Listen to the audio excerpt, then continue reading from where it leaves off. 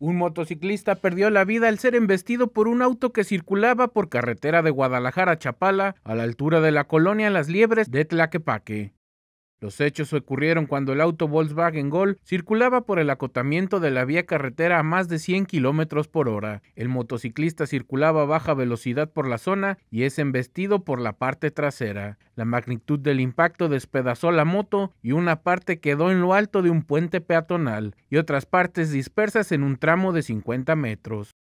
El vehículo tras el impacto quedó volcado en el camellón y su tripulante logró darse a la fuga.